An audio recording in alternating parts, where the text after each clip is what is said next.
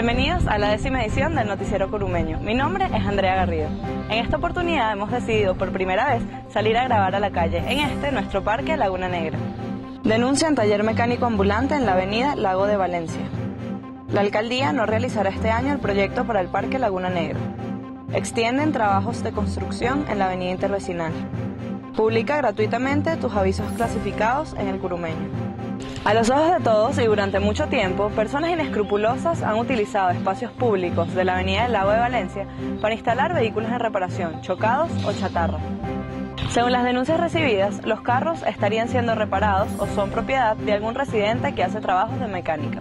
Hacemos un llamado a la alcaldía de Baruta para que proceda a revisar la situación de estos vehículos y logren la desocupación de los espacios.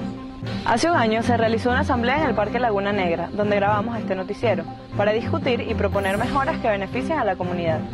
De llevarse a cabo en el año 2014, el proyecto transformaría el parque en un espacio de esparcimiento para la comunidad, incluyendo áreas para la cultura, la ecología y el deporte.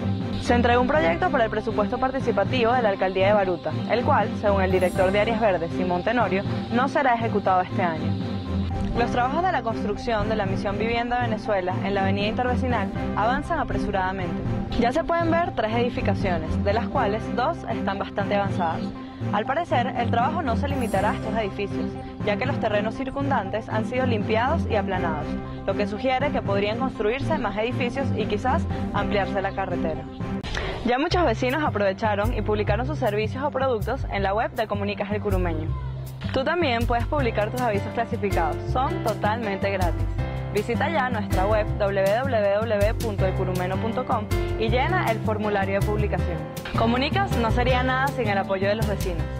Gracias a ustedes somos miles de ojos y miles de voces que se comunican y participan para que nuestra comunidad crezca y se fortalezca con más unión y mayor sentido de pertenencia. Mantente activo siempre, enviando tus ideas, denuncias y opiniones al curumeno.comunicas.com.